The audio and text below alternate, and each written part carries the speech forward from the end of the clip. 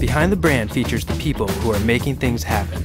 Get the insight to grow your biz from experts who've done it. Get behind the brand.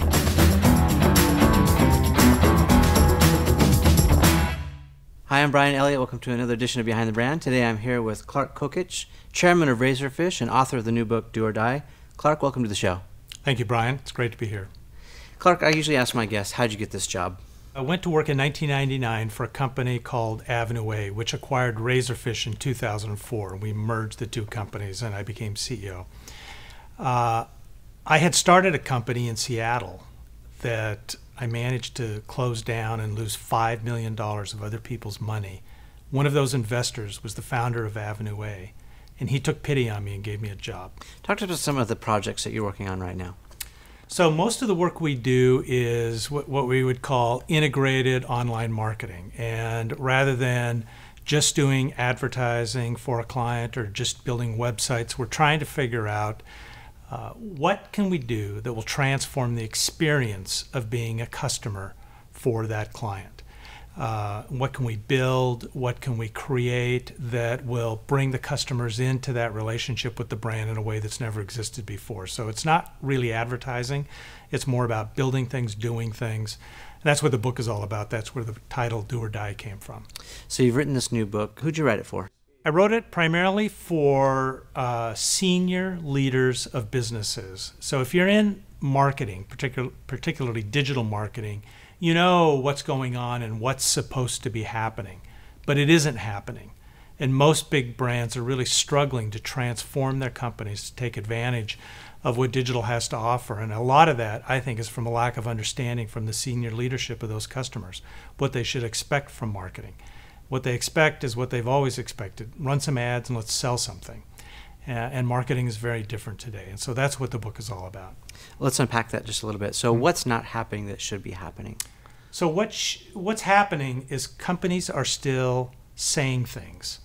Uh, they're running ads to tell you why you should like their product or why you should buy their product. What companies need to be doing is doing things, building experiences that causes their customers to share with each other, basically doing a better job of being a brand. And in the past, marketing people didn't have much to do with that. The marketing people took whatever was given to them by product development and manufacturing and sold it. But now, with mobile, social, all the web applications that are possible, digital out of home, viral gaming, you have so many tools right. that for some brands, take Virgin America as an example, for some for a company like Virgin America, the digital experience that they've created around the in-plane experience is as important as the in-plane experience itself. Another company, Vail, has done a fantastic job of deploying social media, not by saying, let's get on there and chat on Facebook, by building something uh, that people love and that every time they go skiing, they engage through social media to tell their friends about it. So it's called right. Epic Mix. And it's, uh, it's a tool that allows you to track everything you've done on the mountain every day. When you go home, there's everything you've accomplished, photos that they've taken on the mountains that they've uh, uploaded to your personal page that you can now share with people. They're getting maybe 2 million people a year sure. sharing to social media, but they didn't they didn't do it by chatting on Facebook. They did it by creating something that was so meaningful and so unique that people talked about it. And that that's the mm-hmm. difference. It's if you treat social media as just another way to to yammer, and to talk to people, you're leaving leaving a huge opportunity on the table. The big difference is to build things that other people talk about. But talk to us maybe about some of the pitfalls that people fall into, some of the problems that they're having. I think there's two big ones. The one is they're asking the wrong question. They're still asking, what can we say to our customers uh, to change their mind about our brand? And what they need to be thinking is the question they should ask is, what do people hate about our category? And can we fix it? And that looks more like product development than marketing communications. So that's the biggest issue. Is it about finding pain points? Is that what you're saying? Yeah, find a, find a pain point. Solving find, people's problems. Solve solve people's real problems. And as a marketing person, we didn't do that. That was somebody else's job. The stores people did that. The product development people did it. The manufacturers did it. Well, we used to have focus groups back in the day. Yeah, but it was all about advertising. You didn't you didn't come back and say, uh, I can change the product. In fact, one of the great things, or not great things, one of the great excuses advertising people used to use is, you know, great advertising can kill a bad product faster than no advertising at all. And so if things didn't work, we always had the handy excuse of saying, well, the, the product is no good. And I think those days are gone. And that is really one of the big cores is that they're asking the wrong question. It's not a marketing communications question, it's a product development question. And then the second one is this idea, and Mad Men is a perfect example that when you need an idea, someone's going to go in a room and stare at a white sheet of paper or a blank screen, and through God given inspiration, will somehow come up with an idea that transforms the brand. And that still can happen from time to time, but the kind of work we're talking about is, is done through collaboration.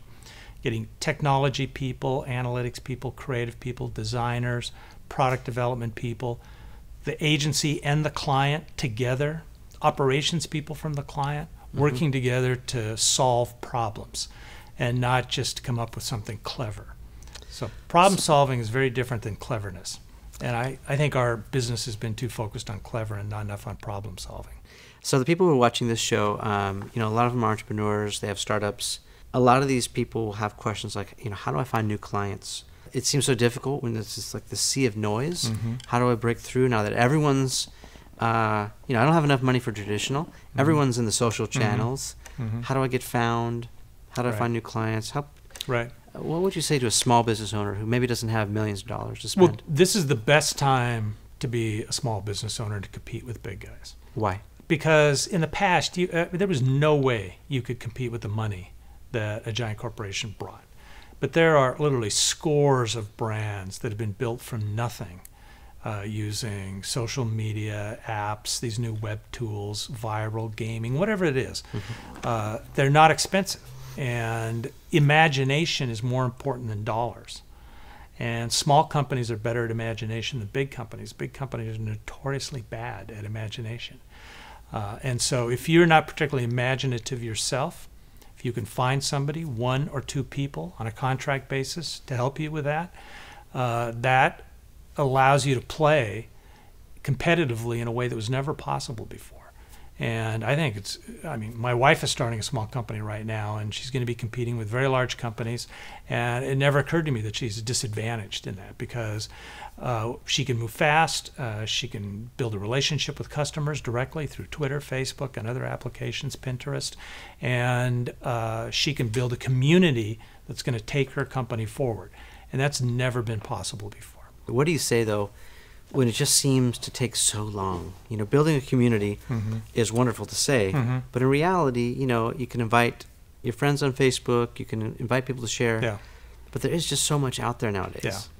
It does take a long time. I mean, the, the good news is it doesn't cost as much to start a company anymore.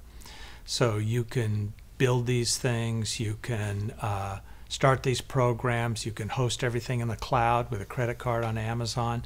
I think anybody that goes out and says, I'm going to put a million dollars into a startup and I'm going to get this thing rolling in a year is betting on a very risky proposition. Uh, and you know there are, that still works for some people, but for most people who are starting things on their own, keeping expenses very low and allowing it to percolate for a year, a year and a half, two years, maybe not taking a salary, working out of your garage, uh, you know, whatever it takes, but allowing and being totally focused on that community and allowing it to grow. Uh, I think it does give you an advantage that you never had before, but you, it does take patience, and you have to cultivate it, and you have to be smart. And if you try to push too hard, the community will push back. We've been spending a few minutes with Clark Kokich, chairman of Razorfish and author of the new book Do or Die. Clark, thanks so much for spending some time with us. Appreciate it. Thank you. It's a great time.